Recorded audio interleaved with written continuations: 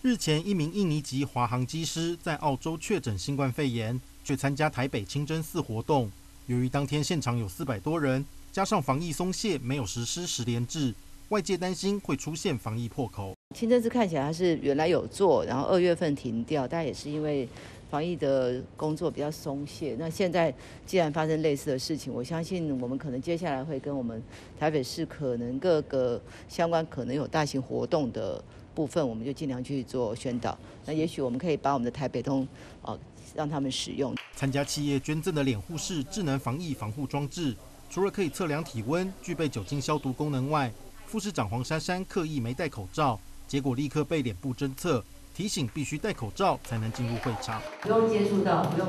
有人拿着量的额温，你就可以自己跟着机器就可以做这种事情。这个你同时还可以做呃消毒手。用勤洗手，戴口罩勤洗手。那它最厉害的是，它可以辨别你有没有戴口罩。知名卫浴品牌合成 HCG 这次特别捐赠二十台防护装置，将放置在十二区的社服中心、游民收容中心、浩然敬老院和阳明教养院等地点，要用科技防疫方式，减少测量体温及酒精消毒人力，公司协力加强防疫。记者尤祥婷台北采访报道。